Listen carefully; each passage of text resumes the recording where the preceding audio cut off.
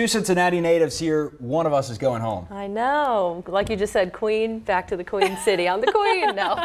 very excited, very excited. I took a job at a station in Cincinnati, which is my hometown. So tonight is unfortunately my last night. So just wanted to say thank to you guys for always being here and